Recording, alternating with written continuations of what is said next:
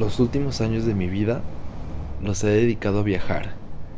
Habiendo nacido en una región tranquila y poco poblada, quería conocer las grandes ciudades, las más bellas playas, los bosques más verdes, pero entre más conocía, más cosas extrañaba de mi hogar.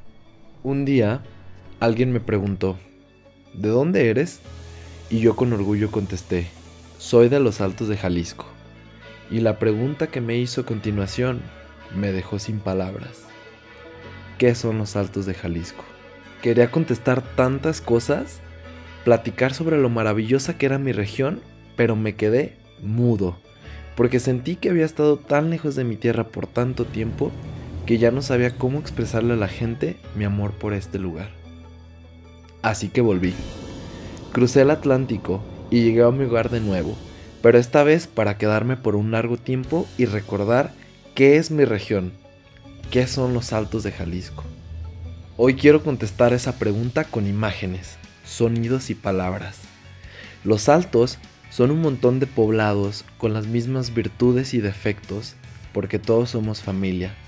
Los altos son la belleza de su gente, y no me refiero a la física, sino a la calidad de personas que te encuentras aquí. Los altos son el chocomil del mercado de Tepa, la birra de Yagualica, los tacos de Arandas, la coquita de San José de Gracia, la guacamaya de Lagos de Moreno, el lonche de lomo en Jalostotitlán. Los altos es el rocío de las cascadas que caen en tu rostro en la barranca de Tamaracatic. La historia de la cristiada, impregnada en nuestros abuelos y bisabuelos, reflejados en el Museo de la Guerra Cristera en San Julián. Los altos son la cantera rosa de San Miguel que brilla al amanecer y la paleta de chocomil de capilla para bajar el calor del mediodía. Valle, Santa María, San Diego, San Juan, Teocaltiche y el resto de nuestros pueblos. No puedo contestarte qué son los altos, porque mientras que para ti son un par de palabras, para mí significan la vida.